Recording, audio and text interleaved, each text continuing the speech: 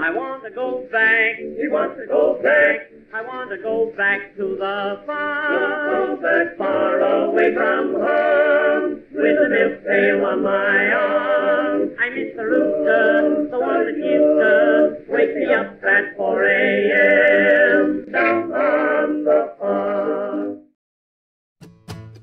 I'm Scott Bain. They call me the old farmer. There are two brands of tools that I've used for about half a century. First are the original Craftsman tools, both hand tools and power tools. The second is Harbor Freight tools, also hand tools and power tools. Along the way, I have used other brands of tools, but primarily these two names are the ones where I have gotten most of my tools. I should add that Tekton tools have been added to my tool supplier list. Tekton is working to bring back Made in America without having to dip into Fort Knox to pay for something. I think their tools are far superior to both Snap on and Mac tools. I also buy Grizzly tools when it isn't a Harbor Freight tool dressed in green. Grizzly has some impressive tools.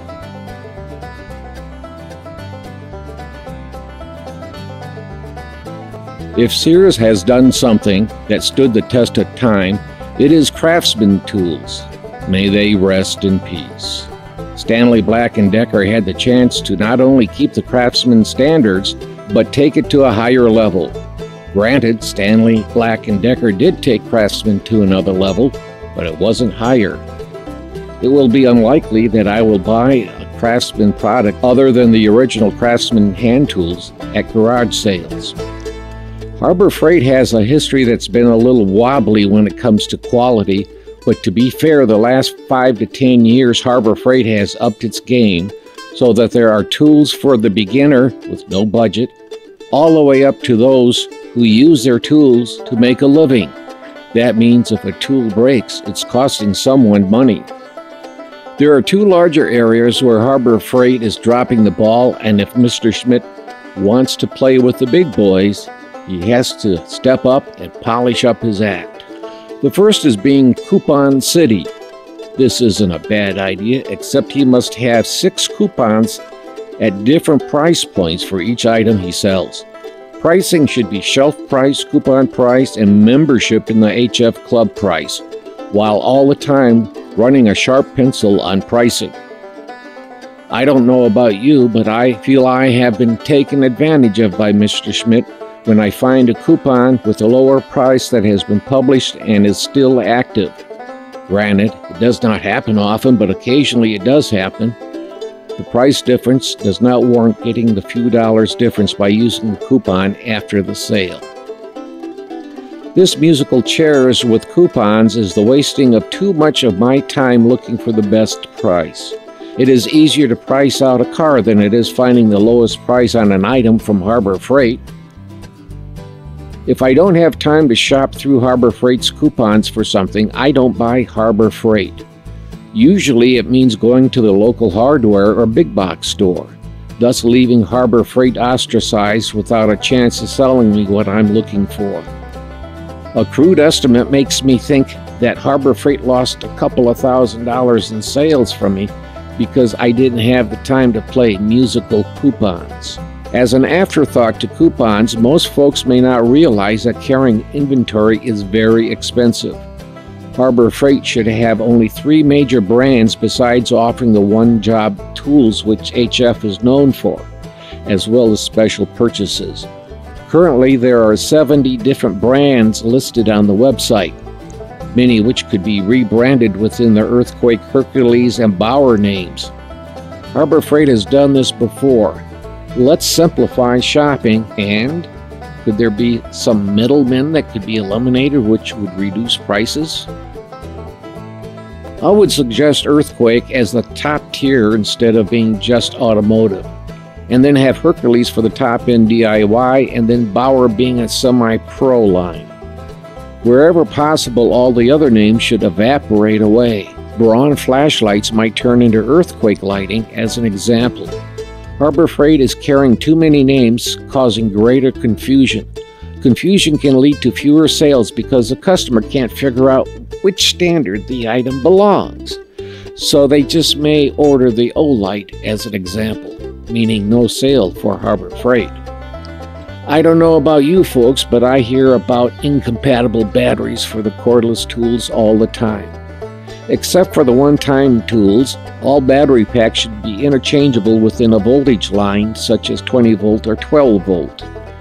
Personally, I'm with the Bauer line of tools. This means if I need a higher quality tool, I will not buy Hercules. If all the battery packs were compatible, I would always buy earthquake battery packs and then pick the quality level that fits my needs. For example, I would buy an earthquake hammer drill, a Hercules multi tool, and a Bauer impact driver, which I have. I know that I will need the quality of earthquake for a hammer drill. As a point of interest, I have the half inch earthquake air impact wrench, which AvE showed is built better than the snap on version but I didn't think I would use a cordless impact wrench that much, so I bought the Bauer quarter inch. But I wish I could use an earthquake battery pack carrying a 4 amp hour charge or more. I could buy the best quality battery and then purchase tool quality based upon what I actually need. What it means for me is that I won't buy Hercules cordless tools at any price. They don't fit my battery pack format. I may buy a corded Hercules tool, but not a cordless. I can understand why Stanley Black & Decker has proprietary battery packs. They're running separate companies with different identities. They shouldn't, but at least I understand. The difference with Harbor Freight is it's one company with different lines and quality levels and tools, something like the old General Motors with Oldsmobile Pontiac Saturn and Hummer it comes back to the fact that some tools I use all the time and some only occasionally. The tools I use all the time, I want those to be high quality tools, and the others less so because I will not be putting a heavy workload on them. I would buy more cordless tools when the game of incompatibility has stopped. If I were Eric Smidt, I would give away, or almost, the battery packs with lifetime warranties while making profit on the power tools. I would give away the fast double battery chargers too. As an example, buy tools during sales days and for $5 more get a 4-hour battery pack and dual quick charger with a lifetime warranty. 90 days for the tool warranty unless you buy a warranty plan. The goal is to offer good products, which you do, and then get the customer committed to the battery pack line for tools. In other words, it wouldn't matter which Harbor Freight cordless tool you bought, the battery pack will work and the customer is linked to Harbor Freight. The goal, I should think, is to get everyone buying Harbor Freight cordless tools, not trying to sell Earthquake, Hercules, or Bauer. Leave a comment and let me know your experiences and ideas. While saying this, we should recognize the tremendous effort Eric Smidt has taken for extending the life of coupons, not raising prices, and donating all the safety gear to hospitals during this shutdown of businesses. Thank you, Mr. Smidt. Things like this create brand loyalty. As a final note, do you know which brand I had more problems with? The old Craftsman line or Harbor Freight? It was the old Craftsman line by a significant margin. Let me know in the comments your experiences and opinions. As for Mr. Smith, thank you for being a part of our communities. This is the old farmer. Be well.